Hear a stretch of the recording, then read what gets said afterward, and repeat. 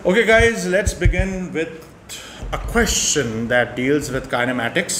अब इसके अंदर जरा इधर देखो कि हमारे पास सिचुएशन है क्या इसके अंदर सबसे पहले हमारे पास गिवन है a golfer strikes a ball so that it leaves a horizontal ground with a velocity of six metre per second at an angle theta to the horizontal as illustrated in figure 1.1 हमारे पास इसने इस ball को इस तरफ़ फेंका है। ठीक है, यहाँ तक फेंका है? ये चीज़ फेंकी है? सही है। एक एंगल मेरे पास यहाँ पे बन रहा है theta. Can you see that अच्छा अब मेरे पास जो है इसके अंदर फिर बोलता है the magnitude of the initial vertical component V Y of the velocity is 4.8 यानी ये चीज़ मेरे पास इधर गिवन है, ये गिवन है। मुझे बोलता है assume that air resistance is negligible important line इसने बोल दी। Show that the magnitude of the initial horizontal component Vx of the velocity is 3.6 आपको बेसिकली अभी राइट नाउ ये वाला कंपोनेंट निकालना है, इस वाले कंपोनेंट पे आपको काम करना है। Do you understand this thing ये वाला अब निकालने के आपके पास दो तीन तरीके हैं। मैं आपको बताता हूँ। पहला, एक तो तरीका हम लोग ये यूज़ कर सकते हैं कि एक वेक्टर ट्राइंगल बना के निकाल लें। वो इस तरीके से कि हमें ये पता है कि सिक्स मीटर पर सेकेंड जो हमारे पास है, वो इस वी एक्स और इस वी वाई का रिजल्टेंट है। क्या मैं इस तरीके का एक ट्राइंगल बना सकता हूँ? इधर देखो, ये वाला जो सिक्स वाला है सिक्स वाले को मैं आई मीन इसको मैं रेड रेड से ही मार्क कर रहा हूँ। सिक्स वाली लाइन ये हो गई। बना ली मैंने? सही है। मेरे पास वर्टिकल वाली लाइन जो है, अगर ये इस साइड पे लेफ़्ट साइड पे है, ये वाली वर्टिकल लाइन क्या मैं इसको ऐसे कर सकता हूँ कि इस लाइन को उठाकर मैं जो है इस साइड पर रख दूँ? पॉसिबल है, कोई फ़र्क तो नहीं आएगा। इसको उठा के मैंने इधर रख दिया। सही है इस डायग्राम के अंदर। ये बात समझ में आ गई? मैं इसको पहले लेबल भी कर लेता हूँ कि ये हमारे पास है सिक्स मीटर पर सेकेंड और ये हमारे पास है four point eight metre per second यहाँ तक आ रहा है। अब मुझे एक बात बताओ, मेरा टारगेट है वी एक्स निकालना है, ये वाला वी एक्स निकालना है। इज़ दैट क्लियर तो इधर हम लोग क्या लगाएँगे तो निकल आएगा? इधर हमारा टारगेट है पहले वी एक्स तो इधर आप डायरेक्ट पाइथागोरस थ्योरम लगा दो। निकल आएगा आंसर लगाओ ज़रा और चेक करो कि पाइथागोरस थ्योरम लगाने से हमारे पास ये आंसर आता है या नहीं आता। प्लीज़ अप्लाई इट ओके इधर देखो। अब मैं पाइथागोरस थ्योरम अप्लाई कर रहा हूँ। लिसन टू मी सबसे पहले हमें पता है कि hypotenuse six square must be equal to four point eight का स्क्वायर प्लस वी एक्स का स्क्वायर यहाँ तक पहुँच गए। अब मैं इसमें निकालता हूँ तो ये हो जाएगा इसको आप सॉल्व करोगे तो V X is equal to root operation six square minus four point eight square V X निकालोगे तो ये आपके पास आ रहा है three point six metre per second आ गया? एक तो ये तरीका था। सही है? दूसरा ऑल्टरनेट मेथड भी देख लो। ऑल्टरनेट मेथड भी देख लो। ये तो अभी ये वो ही सिर्फ़ कर सकता है जिसकी आँखें बहुत तेज़ होंगी, कि वो नोटिस कर ले कि तो ट्राइंगल बन रहा है हमारे पास। अब एक और देसी तरीका भी है हमारे पास, वो अप्लाई करें। अब मुझे एक चीज़ पता है, ज़रा इधर देखो। यार वर्टिकल कंपोनेंट होता था, जो मैं इस तरह नहीं लिखते थे वर्टिकल मैं इधर एक एक स्टेटमेंट लिख रहा हूँ। वर्टिकल वेलोसिटी का जो कंपोनेंट है, वो हमें पता है कि वो ऐसे ही होता है ना, कि सिक्स साइन थीटा होगा। लिख सकते हैं हम लोग? डू यू अग्री वर्टिकल तो यही आएगा साइन लगता है ना? समझ गए? अगर मैंने ये लिखा तो वर्टिकल वेलोसिटी कितनी गिवन है? 4.8 4.8 हमारे पास वर्टिकल वेलोसिटी गिवन है? गिवन है? This must be equal to six sine theta पहले आप थीटा निकालोगे इसमें। लेकिन आपको डिग्री मोड पे रखना पड़ेगा कैलकुलेटर को। पहले निकालो। हाँ? जी बेटे, निकालो।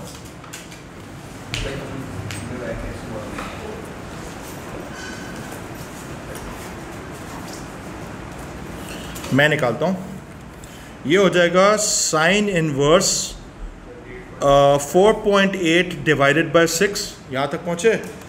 डिग्री मोड पे रखना अगर रेडियन मोड में रखा तो पूरा डिजास्टर हो जाएगा। Divided by six shift sine inverse answer और ये आ रहा है फिफ्टी थ्री पॉइंट वन हाँ? Theta is equal to fifty three point one degrees ये आ गया। अब इसका मतलब है कि मेरे पास इसकी वैल्यू आ गई 53.1 सही है? यहाँ तो पहुँचे? बेटे फॉलो किया आपने? सही है? अब ज़रा इधर देखो। अब अगर थीटा आ गया तो आप हम लोग वी एक्स भी निकाल सकते हैं। मैं इसको ऐसे लिख सकता हूँ, इधर देखो। V X must be equal to six cosine fifty three point one direct निकल आएगा इसमें से। तो ये हो जाएगा six cos answer brackets closed ये मेरे पास आ रहा है थ्री पॉइंट सिक्स सही है? निकल गया। Do you understand this thing बेटे, समझ में आया? दो तरीके थे। बेटे, ये पहला वाला जो था, वो तो पाइथागोरस थ्योरम वाला मेथड था। ये दूसरा वाला बेटे, मुझे एक बात बताओ। यार, ये चीज़ मैंने आपको नहीं सिखाई थी, इधर देखो ज़रा। इधर हमने एक चीज़ सीखी थी कि अगर मेरे पास ये सिक्स है, ये सिक्स मीटर पर सेकेंड है, ये मेरे पास अगर थीटा है तो हमें पता है कि इसका जो वर्टिकल कंपोनेंट होता है, वो किसके बराबर होता है? वो होता है सिक्स साइन थीटा के बराबर और हॉरिजॉन्टल कंपोनेंट होता है सिक्स कॉस थीटा के बराबर होता है। मैंने पहले क्या किया इसके अंदर? ज़रा इधर देखो। सबसे पहले मैंने सिर्फ़ वर्टिकल पे फोकस किया। अगर मैंने वर्टिकल पे फोकस किया तो हमें पता है कि सिक्स तो गिवन है। वर्टिकल का तो डायरेक्ट आंसर मेरे पास गिवन है। तो मैंने इसको लिखा सिक्स साइन थीटा देख लो इधर। Vertical velocity is equal to six sine theta ये आया। और मुझे पता है कि इसी के अंदर मेरे पास जो है वर्टिकल वेलोसिटी शुरू में ही गिवन थी। गिवन थी। मैंने इसमें से थीटा निकाल लिया। थीटा निकाल के फिर डायरेक्ट उस पर हॉरिजॉन्टल पे चला गया। पहले थीटा निकाल लिया, फिर इस पर चला गया ना यार। सही है? Is that clear next step ये तो हो गया सवाल सॉल्व अब आया सवाल असलियत का। ये मुश्किल होगा होपफुली आई एम होपिंग कि चैलेंज हो तो मज़ा भी आएगा। The ball leaves the ground at time T is equal to zero okay and reaches its maximum height at T is equal to zero point four nine seconds यानी इसने जब ball को फेंका तो मैक्सिमम हाइट अचीव हुई है zero point four nine seconds में। Okay okay. और इसका मतलब है कि टोटल टाइम ऑफ़ फ़्लाइट कितना होगा अगर मैं पूछूँ? 0.49 मल्टीप्लाई बाय टू क्या हो गया? सही है ना? वापसी का भी तो होगा। एयर रेसिस्टेंस तो हटा चुके हम लोग। अब इधर कह रहा है on figure 1.2 sketch separate lines to show the variation with time T until the ball returns to the ground हमें दो ग्राफ्स बनाने दो लाइनें बनानी है। एक है the vertical component V Y of the velocity label this line Y अभी सिर्फ़ मैं वर्टिकल पे काम करूँगा, ठीक है? अब मुझे एक बात बताओ, जब इसके अंदर हमने प्रोजेक्टाइल को फायर किया, वो ऐसे ही जा रहा होगा? यूँ ही जा रहा होगा? वर्टिकल कंपोनेंट शुरू में मैक्सिमम था, फिर ये कम होता जा रहा होगा? ऐसे ही होता है ना? और इधर आके ज़ीरो हो जाता है, और फिर ये रिवर्स भी जाता है हमारे पास। ऐसे ही होता है ना हमारे पास? ये चीज़ हमने कर चुके हैं? टेढ़ा फेंका हुआ है ना बेटे? सवाल में यही था ना, देख लो। छः मीटर पर सेकंड पे कहाँ पे फेंका हुआ है? समझ गए? हमें अभी इंडिपेंडेंटली काम करना है। अभी पहले वर्टिकल कंपोनेंट की कहानी है। सही है? मुझे एक बात बताओ, इस सवाल के अंदर इनिशियल वर्टिकल कंपोनेंट कितना गिवन है? 4.8 और 4.8 अब मुझे एक बात बताओ। अब मैं आपसे पूछता हूँ, आप डिसाइड करो, ऊपर को पॉजिटिव ले या नीचे को पॉजिटिव ले। ऊपर को पॉजिटिव ले लें। ठीक है। इसका मतलब है कि अभी मेरा ग्राफ ऊपर से ही स्टार्ट होगा। इनिशियल वेलोसिटी कितनी है? 4.8 सबसे पहले तो मैं एक इधर मैं मार्क कर रहा हूँ 4.8 इसमें। अब हम लोग गए इधर। अच्छा 4.2 4.4 4.6 4.8 ये हो गया। यहाँ पे मार्क कर सकते हैं हम लोग? इसके नीचे यार एक मैग्नेट आ रहा है, जिसकी वजह से जो है मेरा ई एम आर जो पेन है, वो थोड़ा सा प्रॉब्लम कर रहा है। खैर अब होपफुली नहीं करे। ये लाइन गई, ये लाइन गई। सही है, यहाँ तक पहुँच गए। ठीक है? एक तो ये मेरे पास बना। उसके बाद एक और चीज़ है मैक्सिमम हाइट पे वर्टिकल कंपोनेंट कितना होता है? ज़ीरो तो इसका मतलब है कि time is equal to 4.9 seconds पर स्पीड ज़ीरो होगी। तो एक लाइन एक ढूंढते हैं 4.9 है ना? 0.49 अब 0.49 जो होगा ये है 0.4 0.42 0.44 0.46 0.48 और इसके बीच में छोटा सा एक यहाँ पर आकर 4.9 है 0.49 हो गया? यहाँ तक तो पहुँच गए। अब मेरे को एक और बात बताओ। टोटल टाइम ऑफ़ फ़्लाइट कितना है? Zero point four nine into two zero point nine eight. पर जाके कहानी ख़त्म होगी। सही है? इसका मतलब है, और जो शुरू की स्पीड होगी, वही फाइनल स्पीड भी होगी। अब ये हमारे पास कितना था? 4.8 था। तो अभी हमारे पास नेगेटिव 4.8 होगी। तो इसका मतलब है कि नेगेटिव 4.8 कहीं यहाँ पर आ रहा होगा। चेक करो कि मैंने मार्क सही किया है। 0.98 भी है, और 0.48 भी है। 0.98 ये वाली थी जो टाइम था और मेरे पास जो 0.48 नेगेटिव हो गई, क्योंकि भाई ऊपर जाते हुए ऊपर की तरफ़ थी, नीचे आते हुए नीचे की तरफ़ थी। अब आपको कुछ भी नहीं करना है, इधर से उठा के एक लाइन ड्रॉ करनी है। Let's draw a straight line oh my god ये क्या किया मैंने? यहाँ पे गए, पहले अब इसमें स्ट्रेट लाइन बनाना जो है एक बहुत बड़ी कला है, जिसको सीखना बहुत इंपॉर्टेंट है। मैं किस कलर से बनाऊँ? ब्लू से बना लें? रेड से बनाऊँ? ओके अबे यार ये लाइन बहुत मोटी हो गई। और ज़्यादा पतली हो नहीं सकती है तो मैं एक काम करता हूँ। फिर आ, यार बनाते हैं इसको लाइन को। बिस्मिल्लाह करके बनाते हैं। रेड कलर से ही बना लेते हैं। यहाँ से स्टार्ट हुआ। ये लाइन जा रही होगी। इधर जाके कहीं पे इंटरसेक्ट करेगी। कुछ हद तक सही है? किधर से? बस सही है यार जान छुट गई। ठीक है अब इतना मैं भी अब इतना तो एक्यूरेट तो आप भी नहीं बना सकोगे। ठीक है? हो गया? ये लाइन तो बन गई मेरे पास। अब इसको मुझे लेबल भी कुछ करना था। लेबल दिस लाइन वाई इसको मैं लेबल कर रहा हूँ वाई लाइन है। सही है? यहाँ तक पहुँच गए? अब बोलता है सेकेंड पार्ट में कहता है the horizontal component V X of the velocity label this line X horizontal velocity आपने निकाली थी। अगर नहीं भी निकाली होती तो आंसर तो गिवन था। 3.6 राइट को पॉजिटिव रखें या लेफ़्ट को पॉजिटिव रखें? राइट का पॉजिटिव रखें बेटे माइनस तो हमें जाना ही नहीं है ना। सही है। अब मेरे को एक बात बताओ। 3.6 वाला जो कंपोनेंट है क्या वो कभी चेंज होगा? नहीं होगा। तो क्या होना चाहिए? स्ट्रेट लाइन जाएगी बिल्कुल। यानी 3.6 वाली जो लाइन होगी 3.2 3.4 3.6 वाली जो लाइन होगी वो यहाँ से स्टार्ट होगी और वो हमेशा के लिए ऐसे ही जा रही होगी। इज़ दैट क्लियर इसको मैं लेबल कर रहा हूँ एक्स हो गया? This question on you four marks सिर्फ़ समझ आया? अच्छा अब आप एक काम करो।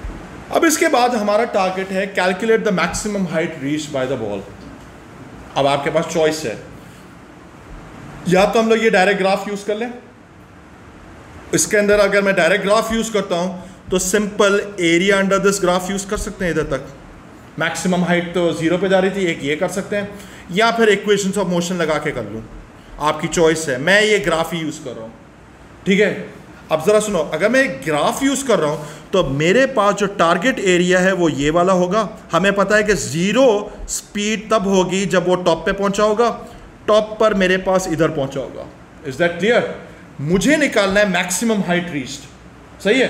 तो इसका एरिया अंडर द ग्राफ निकालना है मैं इधर गया। इसको उठाकर मैं इधर ले आता हूँ और इसका एरिया अंडर द ग्राफ आएगा। एरिया बल्कि इसको मैं कह रहा हूँ मैक्सिमम हाइट ही लिख लेता हूँ इस एरिया को। बल्कि area is equal to maximum height and maximum height is equal to half into इसका बेस कितने यूनिट था? वो तो मैं वैसे ही पता zero point four nine zero point four nine multiplied by इसकी हाइट कितनी थी? फोर पॉइंट एट यूनिट सही होने चाहिए, अगर मीटर पर सेकेंड वगैरह है तो सबको सही है। हो गया? कितना? एक और भी निकाले कोई। दो आंसर्स होंगे तो एटलीस्ट पता तो चलेगा ना कि किसने सही किया है, किसने गलत किया है।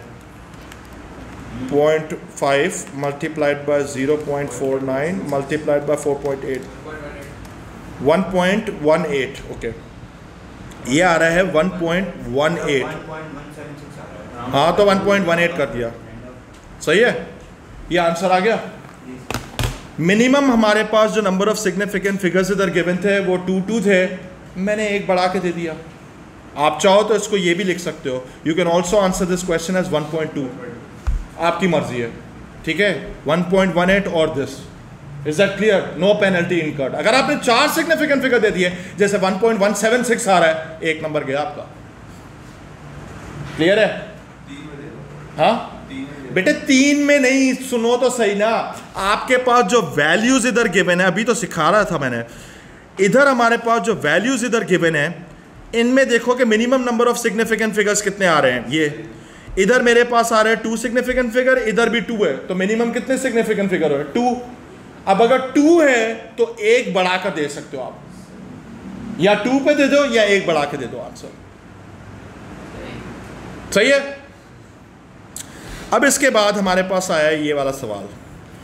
For the movement of the ball from the ground to its maximum height यानी ये जब इधर गया, सही है, जब ये इधर पहुँचा तो मुझे बोलता है determine the ratio of the kinetic energy at the maximum height अब मेरा एक सवाल है, जब ये बॉल जब ये बॉल इधर आकर पहुँची होगी, इस मैक्सिमम हाइट पे आके पहुँची होगी तो इस पे कौन सा कंपोनेंट सिर्फ़ होगा? वर्टिकल होगा? हॉरिजॉन्टल होगा? हमारे पास इधर जो हॉरिजॉन्टल कंपोनेंट है, वो तो हमेशा के लिए 3.6 मीटर पर सेकेंड ही चल रहा है। चल रहा है? तो इसका मतलब है काइनेटिक एनर्जी तो मैं डायरेक्ट निकाल सकता हूँ ऊपर वाली। पहले मैं इधर लिख रहा हूँ one divided by two into M V X square लिखा। सही है? यहाँ तक क्लियर है? वैल्यू बाद में डालेंगे। फिर divided by the change in potential energy अब पोटेंशियल एनर्जी एमजीएच के बराबर होती है, ये ओ लेवल वाला ही चल रहा है। वैसे अभी हम लोग लिखते हैं चेंज इन पोटेंशियल एनर्जी को हम लोग इस तरीके से लिखते हैं। एम जी डेल्टा एच लिखते हैं अभी। सही है? सही है या एम जी एच कह लो यार अभी। सही है? तो मैं इधर लिख रहा हूँ M into G into height हम लोग पहले ही निकाल चुके हैं, वो कितनी आ रही थी? 1.18 मैं इसको कैलकुलेटर वर्जन डाल लो 1.176 डाल लो सही है? यहाँ से पहुँचे? अब आप इसमें एक चीज़ पहले ही सिंप्लीफाई कर लो। मास तो सेम ही था। कैंसिल आउट हो गया यहाँ पर। अब हम लोग इसमें वैल्यू सब्सटीट्यूट कर रहे हैं। तो ये हो जाएगा point five multiplied by three का square divided by nine point eight one ठीक है? Multiplied by one point one seven six आपको पता है ना जी की value nine point eight one होती है? निकाल लो रेशियो। चार मार्क का सवाल था ये वाला।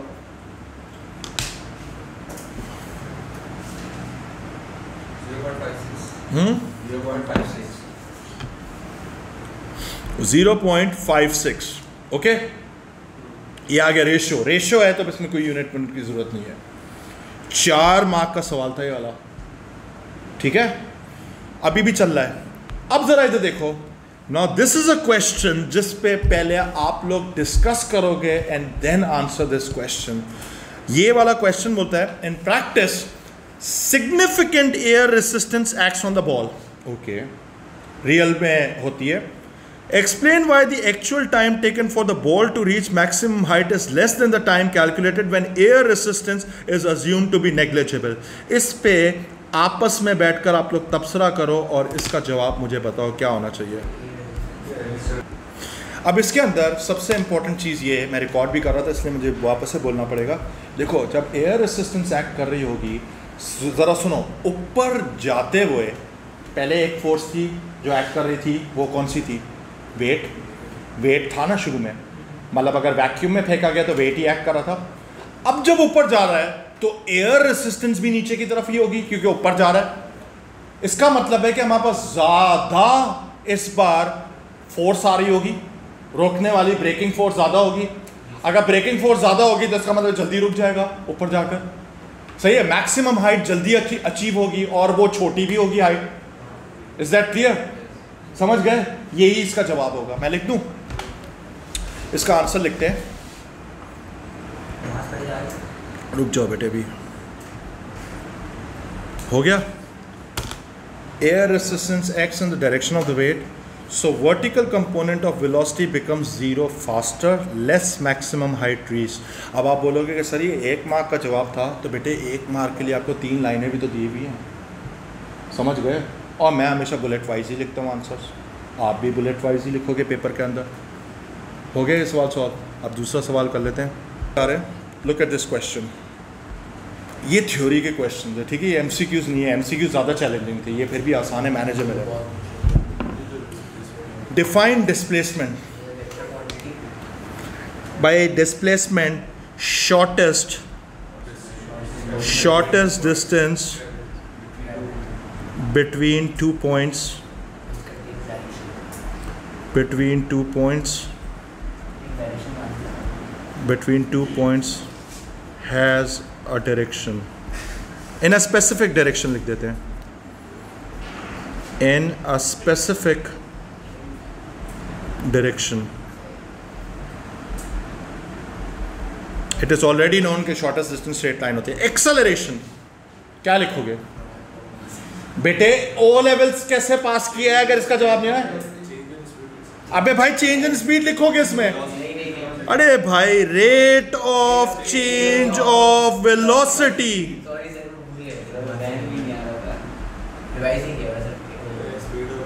कल होती है ओ लेवल्स की क्लास एडमिशन ले लो। Rate of change of velocity हो गया? सही है? अच्छा ये हो गया।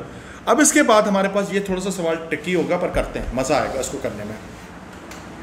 ये मुझे कह रहा है a remote controlled toy car moves up a ramp and travels across a gap to land on another ramp as illustrated in figure 1.1 यानी ये हमारे पास एक गाड़ी है। ये गाड़ी जो है यही वाली जो गाड़ी है, ये यहाँ से गई और फिर यहाँ पे जाके लैंड करके फिर यूँ चली जाती है। ठीक है, ये हमारे पास इन्फॉर्मेशन गिवन है। ठीक है। The car leaves ramp P with a velocity of 5.5 metre per second अब मेरे को एक बात बताओ, ये 5.5 नज़र आ रहा है? इसका मतलब है कि इसी के साथ इसका जो एंगल होगा, वो हमारे पास थीटा ही होगा, जो कि नीचे भी गिवन है। रैम का ही एंगल होगा, जिस पे ये गई होगी, यहाँ तक भी क्लियर है। फिर मुझे बोलता है at an angle theta to the horizontal the horizontal component of the car's velocity as it leaves the ramp is 4.6 अच्छा ये इंफॉर्मेशन इधर गिवन है डायग्राम में गिवन ही नहीं है। इसने मुझे बोला है कि इसका जो हॉरिजॉन्टल कंपोनेंट है थ्रू आउट वो एक ही चल रहा है, वो कितना है? 4.6 4.6 मीटर पर सेकेंड सही है? वो हर जगह सेम होगा। यहाँ तक भी क्लियर है। The car land at the top of ramp Q okay जाके ऊपर रैम्प क्यू के ऊपर जाके गिरी। The tops of both ram ramps are at the same height यानी ये यहाँ से लेकर यहाँ तक जो ये हाइट आ रही है, ये एग्जैक्टली सेम है। ठीक है, ये तो हमारे पास एक चीज़ क्लियर हो गई। The tops of both ramps are at the same height and are a distance D apart इन दोनों के बीच में जो हमारे पास डिस्टेंस आ रहा है, ये वाला जो हमारे पास डिस्टेंस आ रहा है, ये आ रहा है डी मैंने इधर मार्क कर लिया ताकि आसानी न रहे। Show that the car leaves the ramp P with a vertical component of velocity 3.6 metre per second same सवाल है जो पिछले वाले में आया था। इधर हमारे पास रिजल्टेंट वेलोसिटी गिवन है हॉरिजॉन्टल कंपोनेंट गिवन है वर्टिकल निकालना है। क्या लगाओगे? वो वाला, हम लोग वैसे कर रहे हैं। कैसे कर रहे हैं? पाइथागोरस थ्योरम से। लगाएँ इसमें पाइथागोरस थ्योरम तो ये हो जाएगा 5.6 का स्क्वायर बल्कि 5.5 का square must be equal to 4.6 का स्क्वायर प्लस इसने मुझे बोला है वर्टिकल कंपोनेंट तो इसको मैं वी वाई लिख दूँ इधर। वर्टिकल कंपोनेंट को वी वाई स्क्वायर निकालो ये।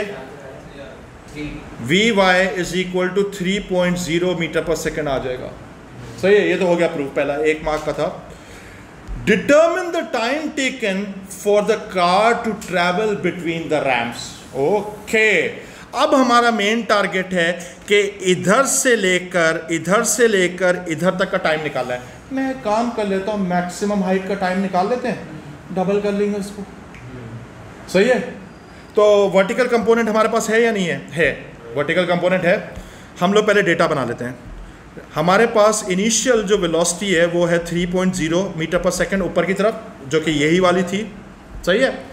फाइनल हमारे पास ज़ीरो है मीटर पर सेकंड हमारे पास एक्सेलरेशन ड्यू टू ग्रेविटी है minus nine metre per second क्योंकि वो नीचे की तरफ़ है। सही है? यहाँ तक पहुँच गए? टाइम निकालना है। क्या लगाएँगे formula v is equal to U plus AT V is equal to U plus AT final velocity कितनी है? ज़ीरो। इनिशियल कितनी है? थ्री। प्लस एक्सेलरेशन कितनी है? Minus nine point eight one. और टाइम जो है इट्स अवर टारगेट। अब जरा सुना ये टाइम सिर्फ़ आधे का है। इसको मल्टीप्लाई बाय टू भी करना पड़ेगा। सही है। पहले टाइम तो निकालो।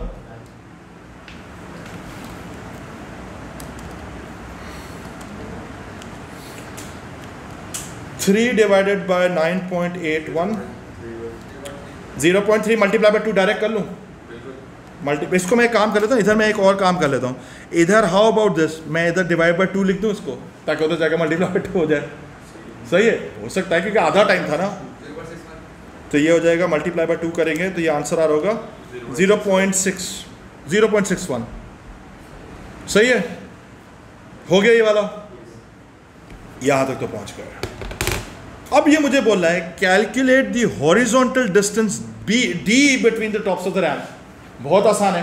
हॉरिजॉन्टल डिस्टेंस निकालना है तो हमें पता है कि हॉरिजॉन्टल मोशन जो है, वो वो एक्सेलरेटेड नहीं होगी। इधर फॉर्मूला क्या लगता है? Distance is equal to speed into time तो इधर लगेगा distance is equal to horizontal speed horizontal speed into time हमारे पास हॉरिजॉन्टल स्पीड शायद गिवन थी, इस डायग्राम के अंदर 4.6 पहले ही गिवन है। तो ये 4.6 तो हमेशा सेम ही रहेगी। और टाइम अभी निकाला था 0.61 निकाल लो आंसर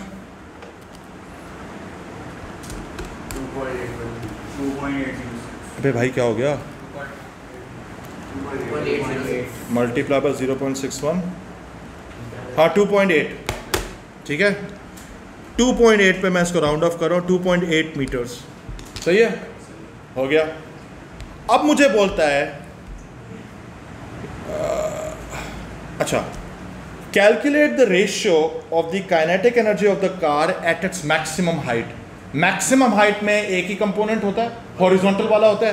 तो इधर भी पहले हम लोग इक्वेशन लिख लेते हैं। एक this should be equal to half times M multiplied by V X का स्क्वायर हॉरिजॉन्टल कंपोनेंट का स्क्वायर फिर मुझे बोलता है the kinetic energy of the car as it leaves the ramp P अब यहाँ पर जो वेलोसिटी आएगी, वो टेढ़ी वाली आएगी। जो रिजल्टेंट थी।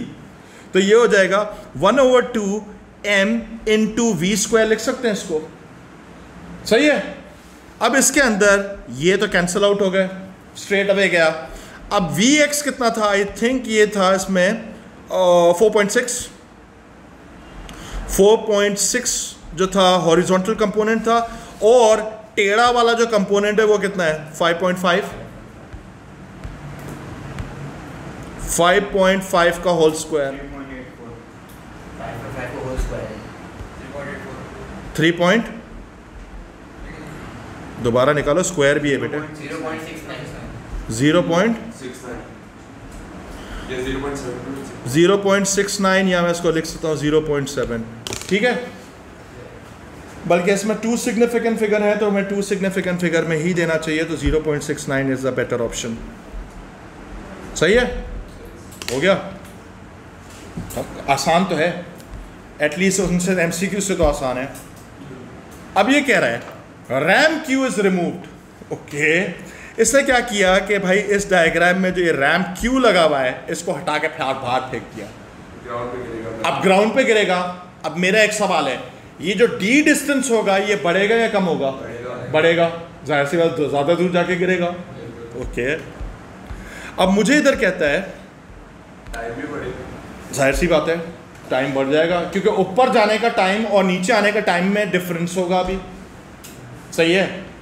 अब ये कह रहा है the ramp Q is remove the car again leaves ramp P as an this and now lands directly on the ground the car leaves ramp P at time T is equal to zero and land on the ground at time T is equal to T अच्छा T इसने खुद ही mark किया हुआ है इस diagram के अंदर, आप देख सकते हो कैपिटल टी फिर मुझे बोलता है on figure 1.2 sketch the variation with time t of the vertical component vy of the car's velocity from t is equal to 0 to t is equal to t. Numerical values of vy and t are not required. अब ये है कि हमें velocities की values required नहीं है सिर्फ़ एक स्केच होना चाहिए अब ज़रा जरा देखो लेसन सबसे पहली चीज़ है वी वाई की बात करते हैं वी वाई जो था शायद हमने निकाला था वी वाई कितना था three three metre per second था। मेरा आप लोगों से एक सिंपल सा सवाल है।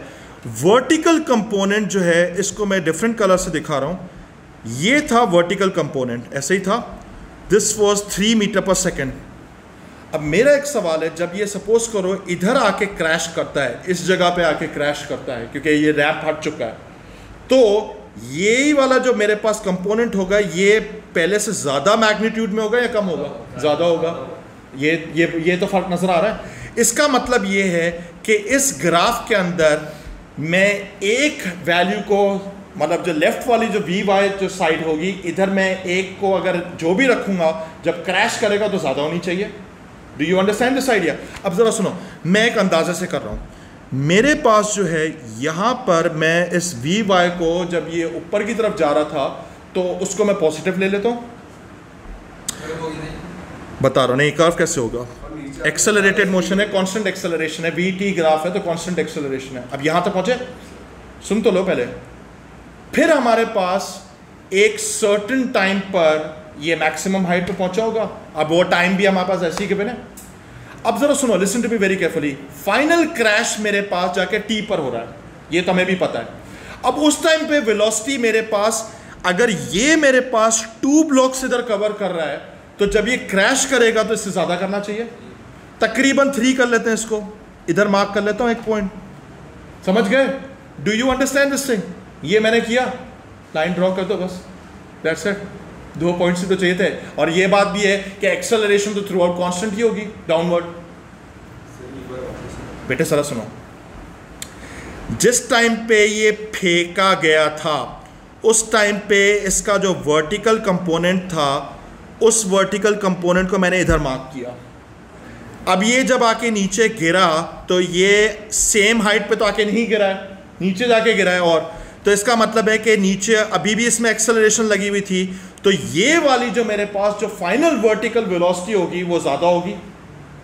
मैंने वो, वही हिसाब लेके किया ना। भाई, मैंने पिछले वाले केस में क्या किया?